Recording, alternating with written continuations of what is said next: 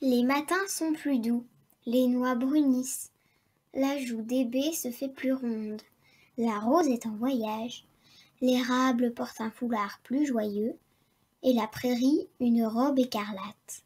Pour ne pas être démodée, je mettrai un bijou. De Emily Dickinson.